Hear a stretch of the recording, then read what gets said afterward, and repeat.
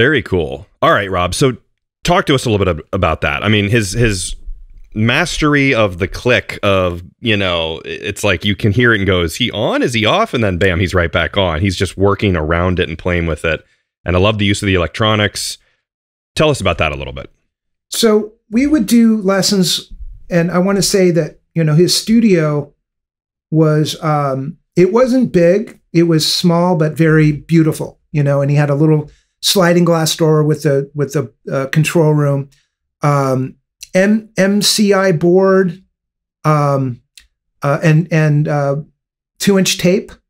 So we had mm-hmm. the the big washing machine, two inch tape deck, um, and um, so he would close the door, you know, and it would be the the um, I guess double doored um, control room, and then the the live room. Um, in the live room, he had um, you know, various sets he set up. He had the double, the double, uh, uh, what would you say, soundproof doors, you know, like closing yeah, the yeah, vault. Yeah. The airlock the, kind of thing. the airlock. You, and so it, it, was all set. I think the next in the, in the hallway down from that was like his, the kids' bedrooms, you know. Um, but it was totally soundproofed. And um, he would just, you know, like he had that big set and he had all the Zildjian cymbals and the Sonor drums and, uh, I would just be blown away. He would just play and it would just be like jaw dropping. He was very yeah. accurate. So when we would do the click stuff, he would demonstrate playing with a click and and um, we would work on the counting. So he would count out loud and play. And um, and what would happen is he would just say how he would keep on the click by doing those subdivisions. And hmm. that's how we would practice like playing around the click. But it was sure. so on, it was scary. And if you ever play with a click where you're you're doing a fill, and then when you come out of the fill, it's kind of a little bit like your snare drum's a little late, and then yeah. you kind of get back on. It's not like you're moving off of the click, but you're a little, you know, it, it's it's like you listen back and you hear a flam or you hear something a little behind. Like he could be dead on, and he would tell me stories of um, I think the album was called Fiafiaga, and how uh, they brought in um, Dave Weckl's buddy um, Jay Oliver, and they would actually produce um, the uh, rhythm to the millisecond, like when they would they would record. And he wow. goes, "I I don't like to do that anymore," but he goes, "At the time, I wanted to see if I could do it." So this is before Man. really Pro Tools. This is before the the editing and everything and putting yourself to a grid. I mean, you sure. were actually playing to tape. Uh, you could punch in, but if you were, you know, if anything was sloppy or uh, anything like that. I mean, yeah. you had to actually do a whole new take, and and this is no, and it was a different world. And the the studio I worked at uh, a couple years ago, and through you know college, I interned. They had it was a big MCI board. There was the big washing machine, uh, two inch tape MCI, uh, you know, machine as well. And I remember there was an outboard uh, piece of gear that was a metronome that was called a Russian Dragon, which I always thought was a cool name, like rushing or dragging, and it was the Russian Dragon. Nothing was as easy as now, where it goes add click track on, change tempo, you're good. So that adds another level of just like uh, complexity. And let me just clarify with can you explain the recording of these of what we're hearing back? Okay, so that one was uh, in his studio. It was a studio recording with his all his gear. Put the yep. tape in because we used to have cassette tape. That's that was our sure. medium. And so he would put the tape in the tape deck and he would record. Yeah. So he ran wow. the two inch tape and then, you know, either he'd make me a copy or he recorded on the fly. Other recordings that you're going to hear are my, the Sony Walkman I had that was, in fact, I was trying to look for the model number. It, this thing was a, it was just a workhorse, you know, press yeah. record, put it down, and then you're, you're, you're good. Well, I hope we can probably tell the difference between a probably fifty thousand dollar MCI board. Well, both Sony. I think Sony owned MCI, though the MCI board and your Sony Walkman we'll probably tell a difference. No offense to the Walkman. yeah. This episode is brought to you by Bloo Goose Classic Percussion. Bloo Goose Classic Percussion has provided vintage drum restoration and sales online for over five years. They are pleased to announce that they will be opening Atlanta Drum Shop, a full service drum destination in Atlanta this summer. featuring new and used gear by all your favorite brands. Vintage drums are their original and strongest passion, and they currently have hundreds of vintage sets in inventory. Some, but not all of the inventory is online. So if you're looking for something in particular, it's best to get in touch directly. They're opening to the public this summer, 2023. Join the mailing list to get updates at atlantadrumshop.com. Their social media is at Atlanta Drum Shop, and if you love vintage drums and cymbals, check out bloogoose.com. That's B L O O goose.com and Bloo Goose Classic Percussion on eBay. That's B L O O Goose Classic Percussion. So thank you to Bloo Goose and Atlanta Drum Shop for sponsoring this episode. Let's move on to the next one because I'm I'm gonna it's gonna be my job to keep us on track and get as many of these in as possible. So uh, that one was awesome. Clearly a master. Uh, let's do some more and just and then we'll go from there. Okay, let's go to opening and closing the hi hats. All right, here is Steve Smith. Uh, this is about opening and closing the hi hats. Here we go. You can check out that your hi hat needs to be a little more like real, real precise, right? Real like even, even shuffle, right?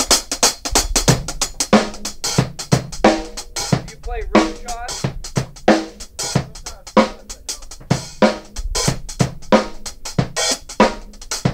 And then and and think about like when you're closing this, like there's that can be part of the rhythm. That should be part of the rhythm. The actual place that you close the hi hat. So like be be aware of where where you close it, because it didn't sound like you were. Mm-hmm. You were you thinking about the actual what subdivision of the beat the hi hat closes on? Mm-hmm. It was just opening and it was closing whenever, right? Mm-hmm. Okay, like it's really important to think about that because you can you know.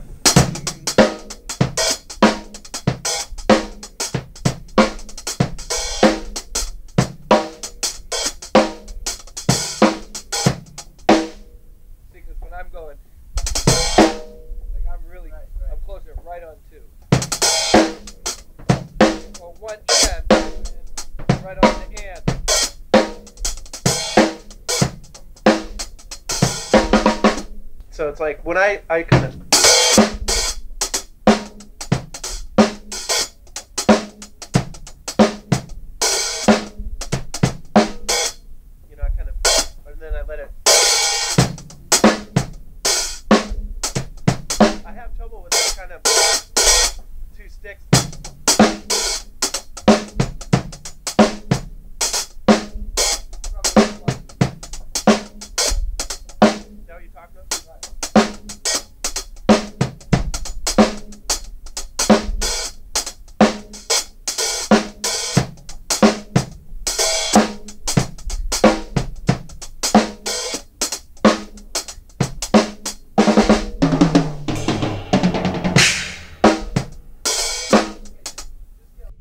That was awesome. I this is again what I love about this is is the hearing this lesson and uh, and I've I've heard these before, but really to kind of do this in in in real time is awesome. Things I wrote down that Steve said, and then you you should touch on this because it was you there, what 35, 36 years ago or whatever. So he's obviously talking about close the hi hat, make it a part of the rhythm. Every piece of what you're doing is is a part of it as you listen to it, you go, yeah, yeah, it seems obvious. But when you're learning and you're in the lesson, it's like, it's awesome. And then I just wrote that and underlined that he said, it just sounds cleaner. It sounds clean.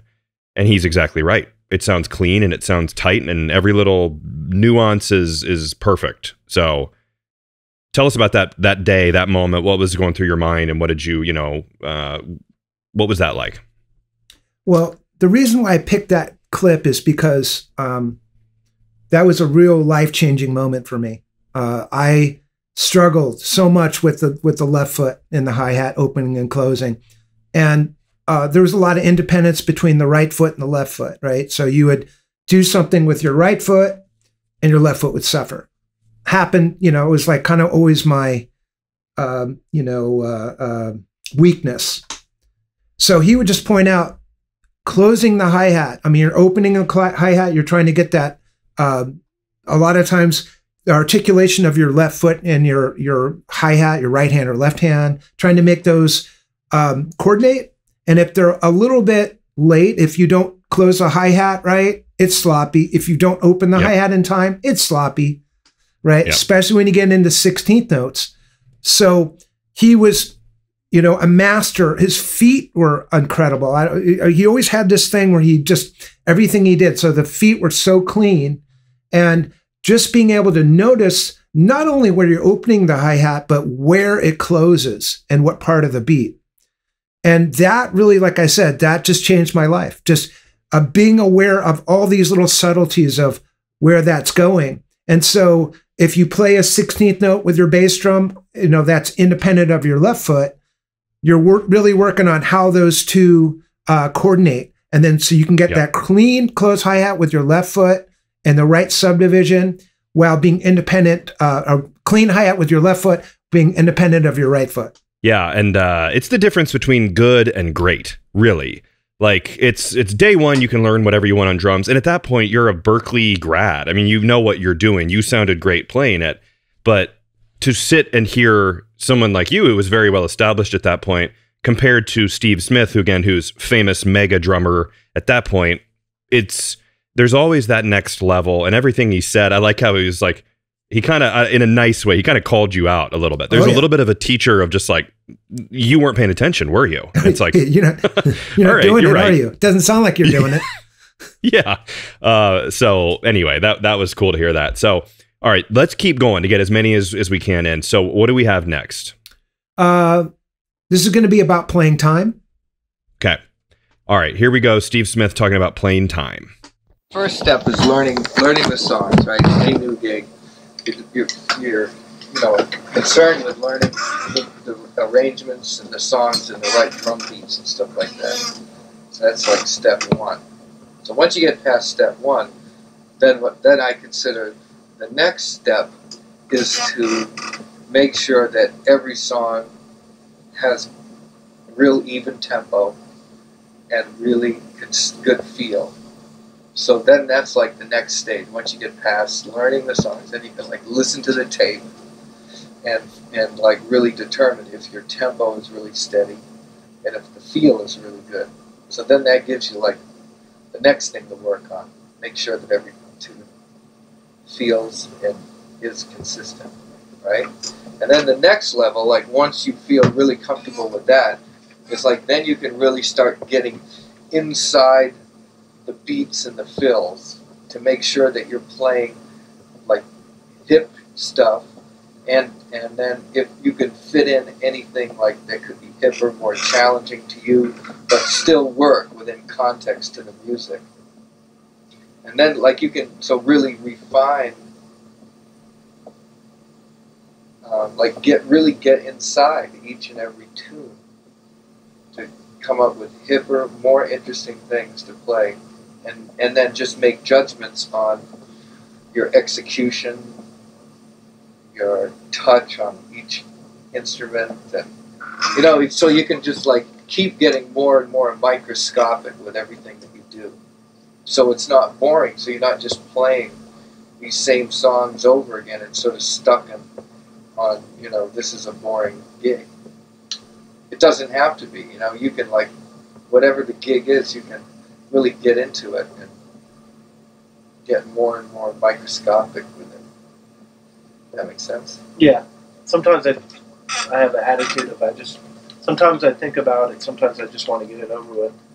Sure. Be burning or something. But what happens is that I think is, even though a gig can be boring, it, well, it, it, it only is as boring as uh, It's not that you're it's, not it's not really- a boring gig, but Yeah, it's but just if you're sometimes not- I just want to get it over with because I'm tired or something. right. If you don't have the But the songs are challenging. Yeah. So if you keep the perspective of that it's playing, it's time on, on your drums, it's time playing music, and it's you can always use that to better yourself, better your playing.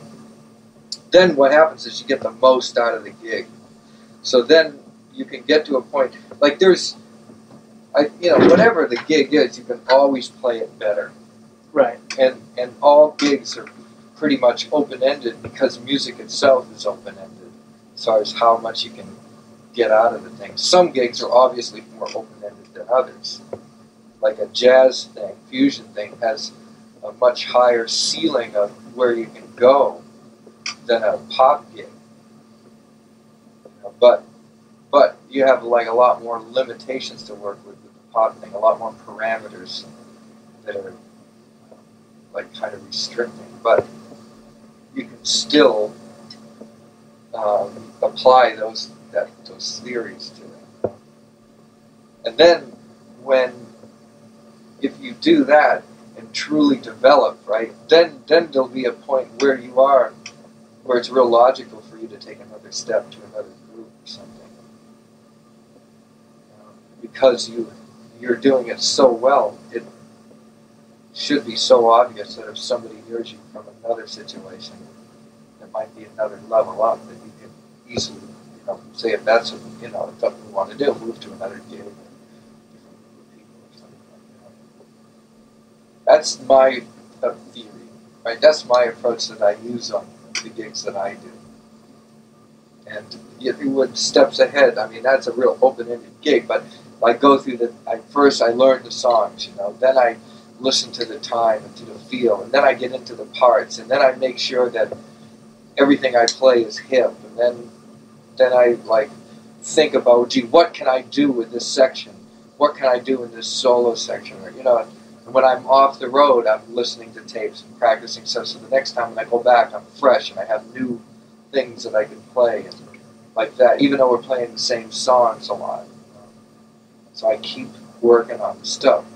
Now that's a much more open-ended gig, um, but the same theory I think works. I did the same thing with Journey too, and that was more you know straight straight ahead. But still, I could fit it into context. I could figure out ways of sneaking cool stuff in.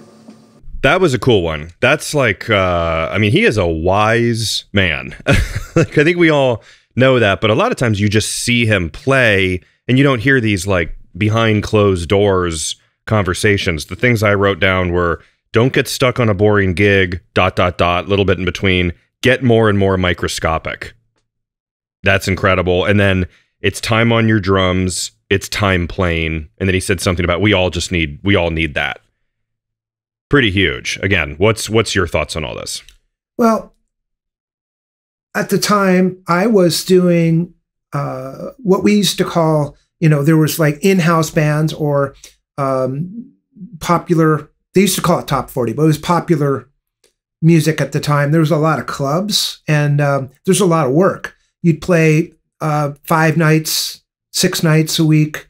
They're four and a half hour gigs, and you're playing the same songs over and over and over again.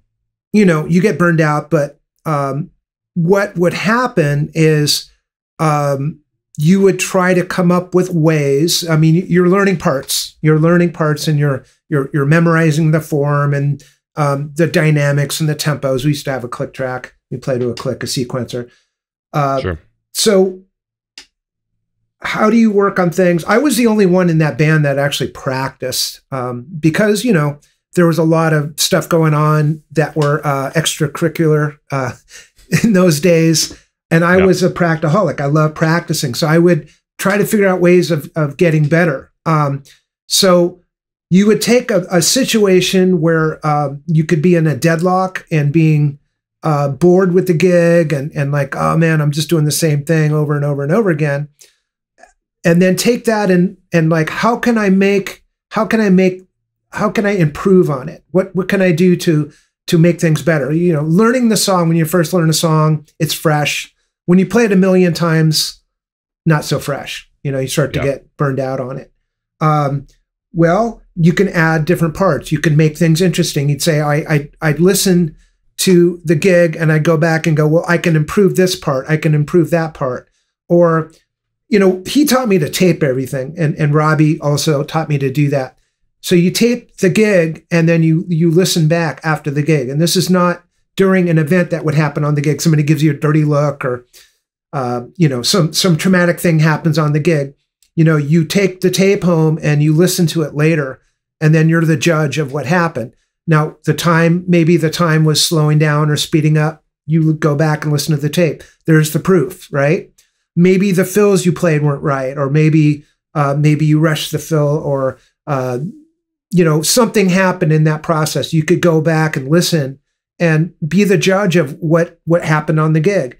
So I started doing this all the time with everything, and um, you know, it got me into learning my own arrangements in my own trio, um, learning what works, what doesn't work. You know, oh, I thought I played really great, you know, on this gig, and then you go home and it's like, oh, that wasn't so great, or oh, I thought I sucked on that gig. Wow, I that wasn't wow, that's pretty cool. I didn't I didn't know that. Yeah. I, I didn't know I played that, you know. So it got into this thing of the musical microscope, but taking something away from the gig. Tony would say I'd listen to myself play all the time. But Steve was like, take it home, record it, and listen to it, and then judge yourself. He'd always say to me, like, you know what you like.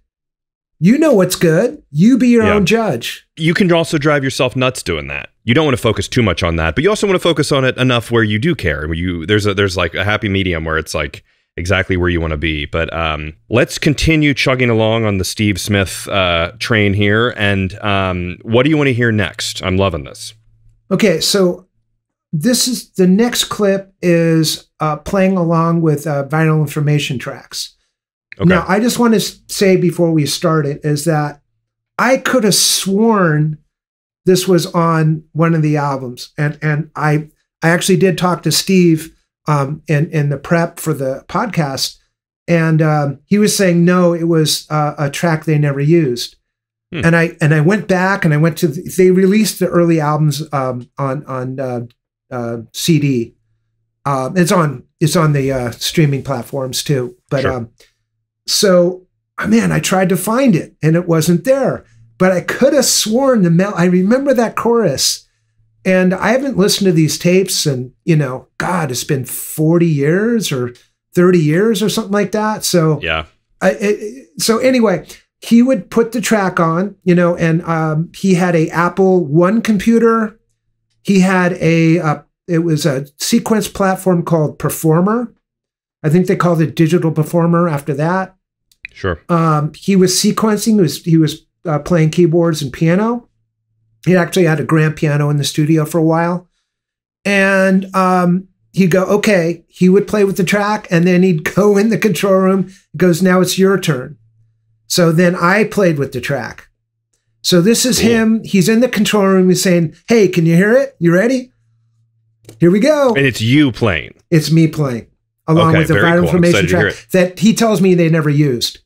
Well, hey, it's a it's a drum history exclusive, I guess. So Rob Hart on the vital information track that was never released. So let's check this one out.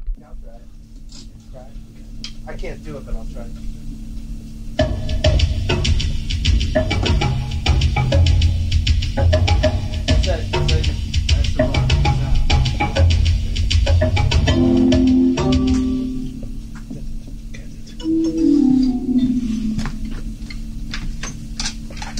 I mean, I'm not even or anything yet, see?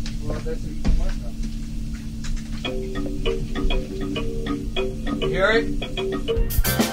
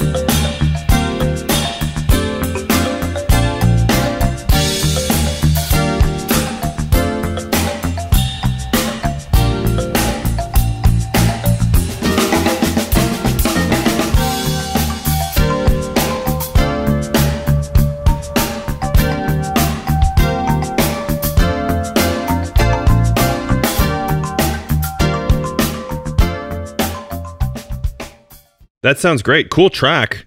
Great playing. How old were you at this point uh, when you were taking those lessons? Probably about 35, 34, Okay. 35. Yeah, sounding very good. I mean, uh, let me ask you real quick. So you and I might have misheard it, but so you said when you were sitting down, you said, "I'm not even yet." Yeah. What? Explain what that means a little bit. Are you talking about even with your kind of getting set up on the kit, or Even with your time, even with your feel, got it?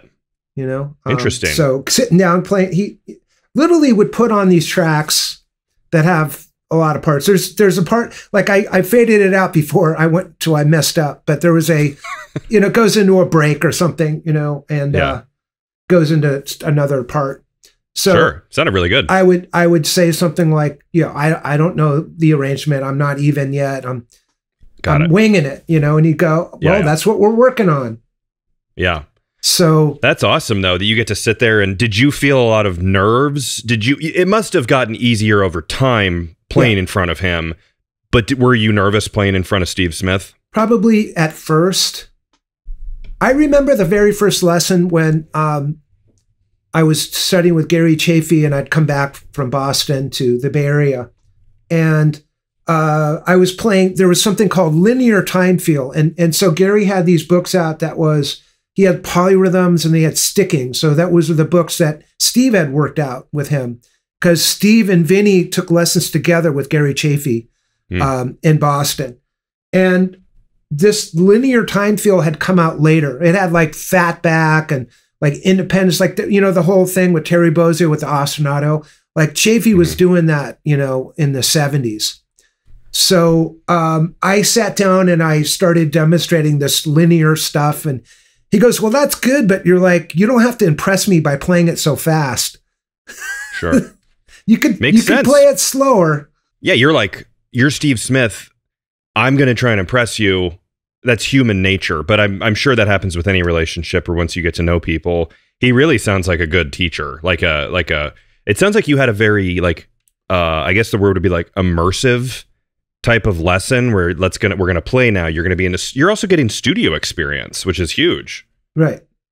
Yeah. Yeah, he taught me about um, not only about uh, being in the studio, about playing live. You know, I said about working on parts. Um, Yeah. Uh, he would teach me about doing how to do a clinic.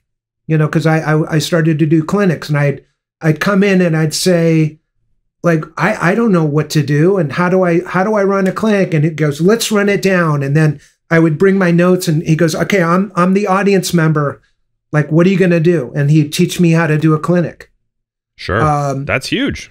it was huge and even Yeah. financial stuff like he his uh, accountant he said okay here's the guy this this accountant does grateful dead and journey and um, jefferson starship and here i'm going to give you this guy and and he's going to help you my dad had passed away and um and and i was going through this journey in life of what to do and he goes Yeah. here's how you're gonna here's a guy to talk to you for your investments and this is what i did and um, you know this this guy's gonna do you right i i, I trust this guy so he Wow. gave me you know not only was it musical um, inspiration and mentorship he also gave me uh, you know life mentorship like what to do in, in in a situation of like i'm inheriting money what do i do how do i invest where do i go Yeah.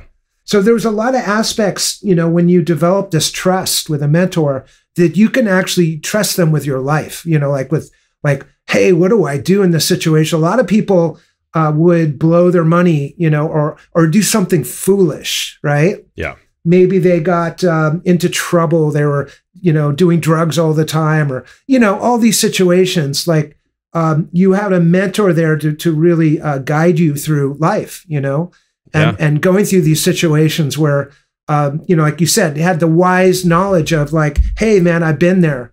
You know, I've been through this. This is this is how you know how I steered my my my life, and I can help others do the same.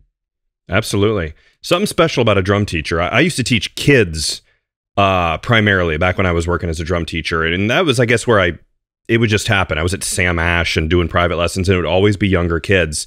And there was one, I think I've told this on the podcast before, so forgive me if people have heard it, but a kid said, you know this better than anyone, I'm sure. People like to just talk to you because, again, it's you're there. Why not? I want to share. You're the cool guy drum teacher. I want to talk to you. but a little kid said, My dad told me to grow a pair. What does that mean? And I was like, oh geez, I'm sorry. He was like he was like six years old. So it was sort of one of those deals where I was like, and and they were from a different it was like a different culture from like a different country, and I didn't know what was culturally acceptable and all that. And I was just like, I don't know, ask your mom or something. I'm not going down that that road, but you you need to be there for kids and people and and it's nice to have a an ear to listen to and also someone to to steer you in the right direction. But um very cool. All right, Rob. So let's let's keep chugging forward here. We have a fair amount left, but um, what do you want to go to next? Uh, let's go to playing the 11 8 figure. And this is um Steve was taking piano lessons. Um, and he would play piano and I would play drums and accompany him. Uh, he was working, we would play standards, working on, you know, playing standards. Um, I have a, a recording of him playing uh, Stella by Starlight, and I'm accompanying him. Uh, Wow. This was something we started jamming, you know, and uh, doing like an ECM kind of jam. And then he came up with this figure, um, 11 8 figures. And then he started saying, okay, solo over this. And then, and then you kind of hear me where I'm kind of like, whoa, I'm, I'm, you know, the rug is pulled out from under me. I'm trying to go Yeah. get my bearings. And he goes, no, just, just think of it as this. And then as it goes on, I start to get comfortable with it. And he's like, yeah. And then, and then we, we kind of start, it, it starts getting better and better. And, we, and, uh, that's, that's the, the clip. That's awesome. All right, let's check it out. This one looking looks like it's a little bit of a longer one, so we'll check it out. Remember, Steve Smith is on piano, Rob Hart is on drums, 11-8. They're figuring it out. So here we go. Let's check it out. Oh, Almost, you know how I hear it is, is li- I don't really hear it that way. No, I hear it like in two phrases. So it's first on the beat. It's first on the beat and then off the beat. Like, you know, 1, 2, 3, 4, 5, 6, 7, 8, 9, 10, 11. 1, 2, 3, 4, 5, 6, 7, 8, 9, 10, 11. Here, listen, watch this, like watch my foot, right? Like, you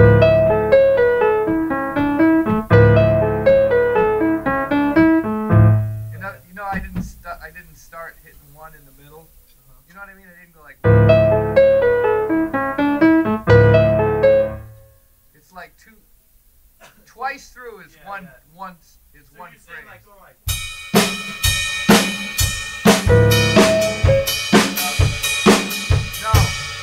it around. Play straight through it. Listen like this. Like.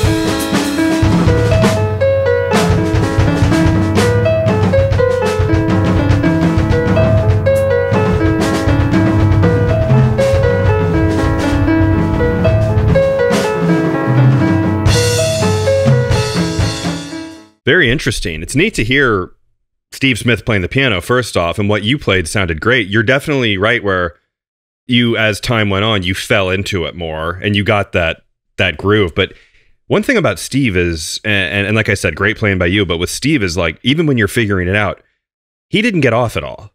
Like he didn't really stop or change. He's just chugging along, and I think that's a big part of like uh that next level expertise is like whatever you're doing is fine, but I'm not going to get off. So pretty cool. That that that good job playing there.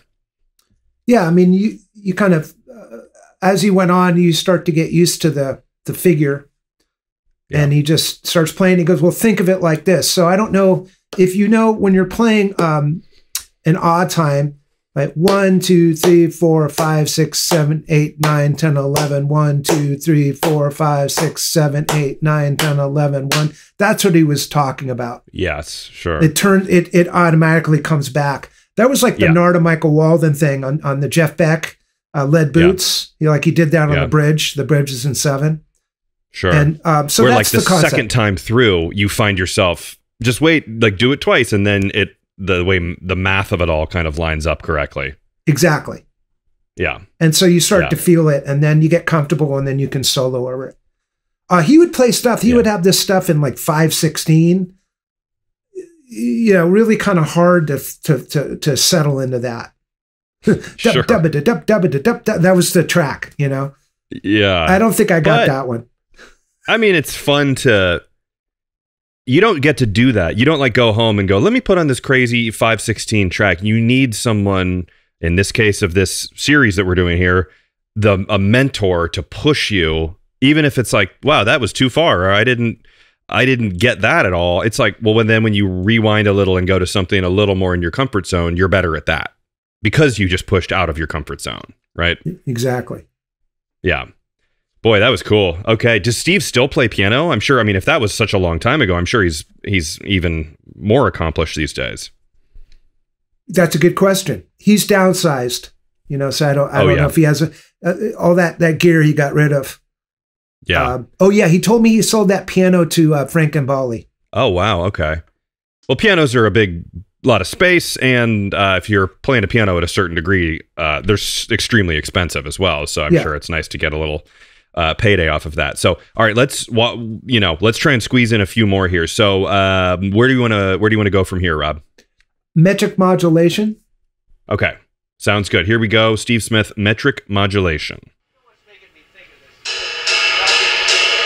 I've been, working on like getting the subdivisions more together, uh-huh. and getting out of like playing sevens and fives. Um,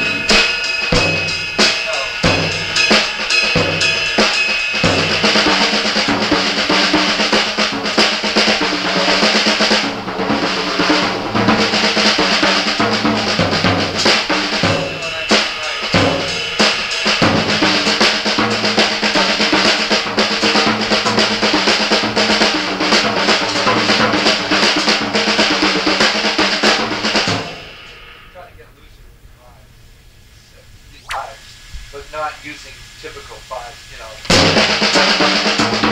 know.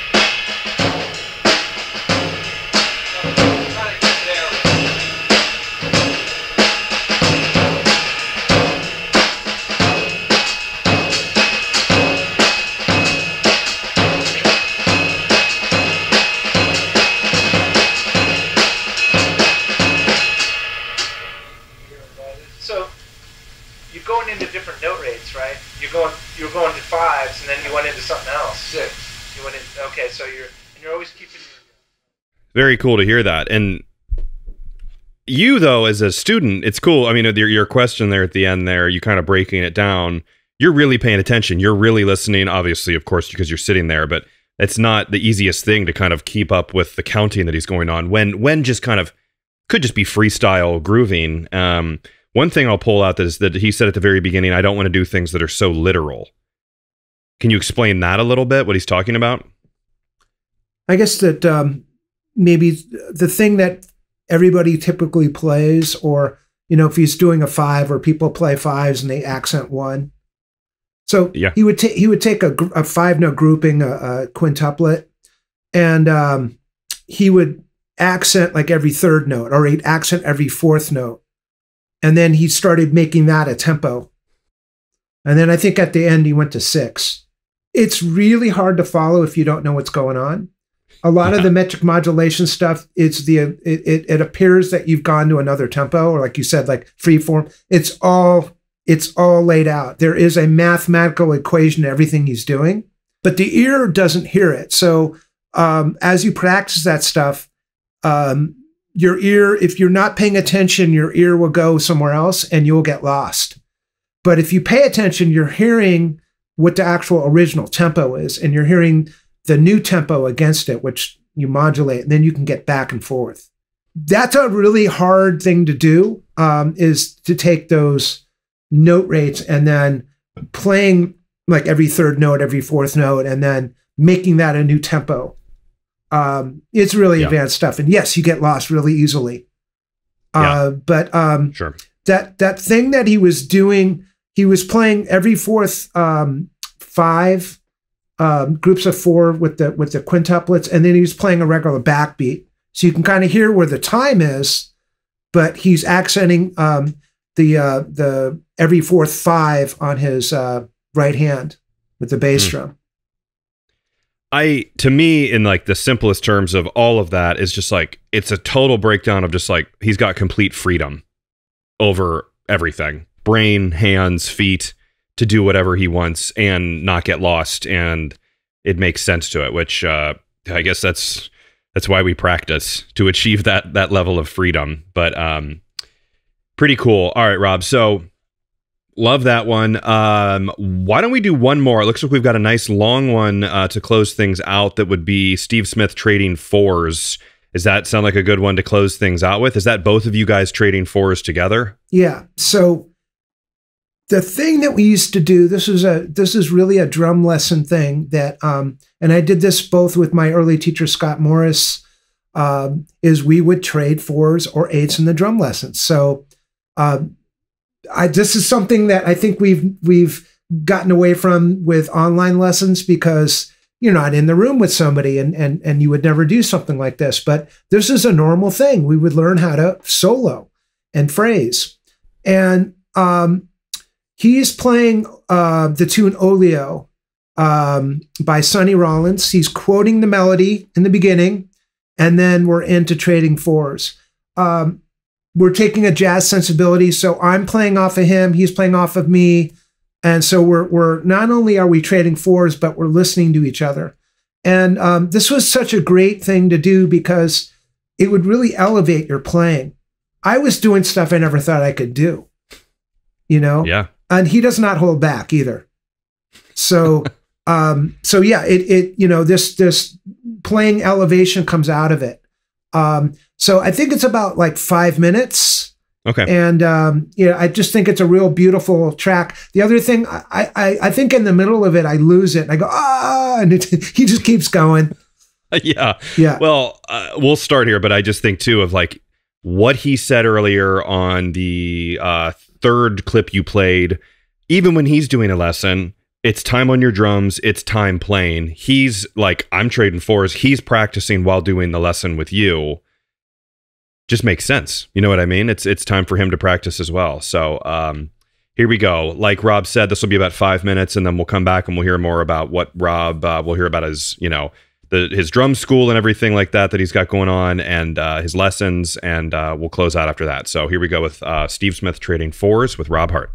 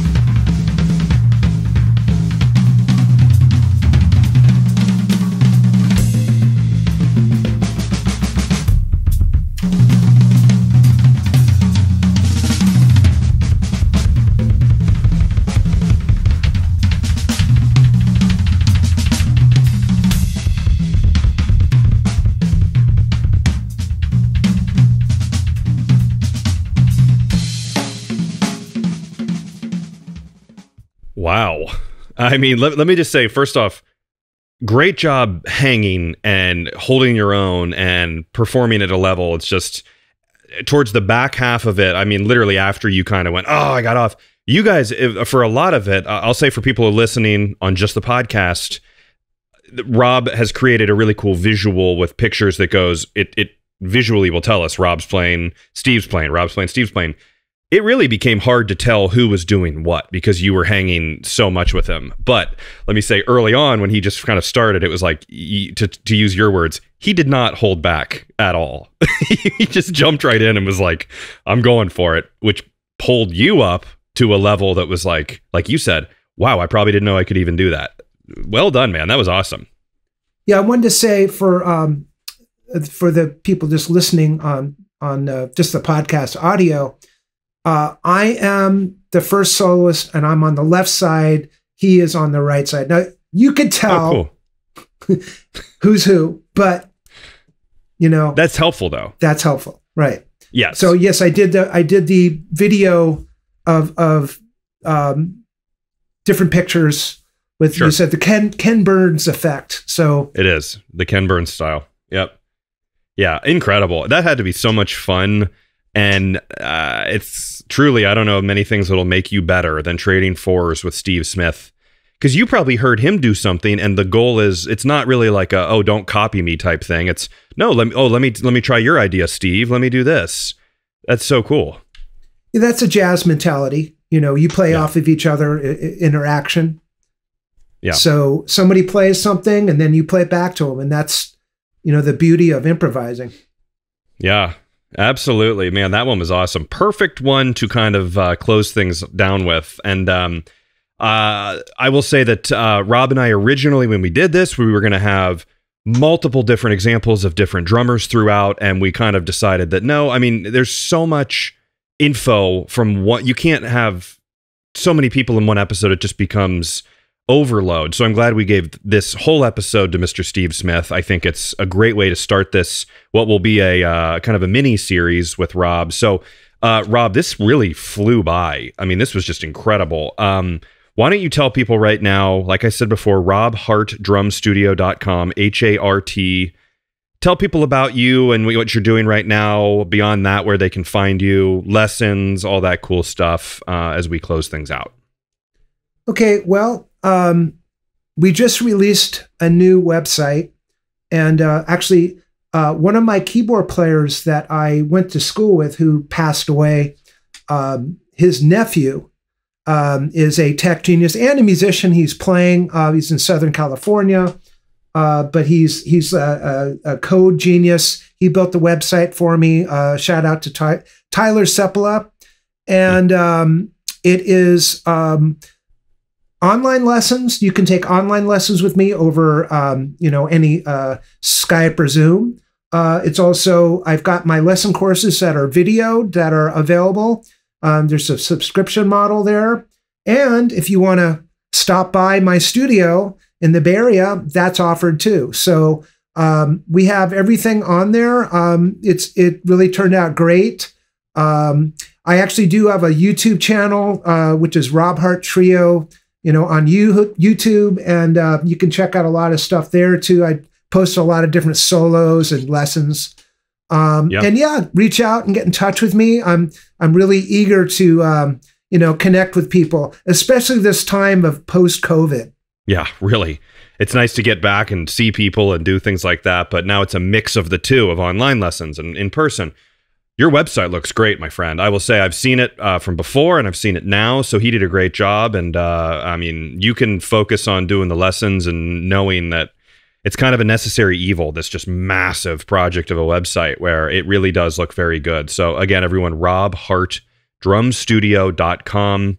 Check it out. Take some lessons with Rob. Uh, because the key to all this is when you're taking lessons with Rob, you're then taking you know, secondhand lessons with all of the great teachers who he has experienced and and had a lot of time with, such as Steve Smith, Tony Williams, Mike Clark, uh, Robbie Gonzalez, Scott Morris.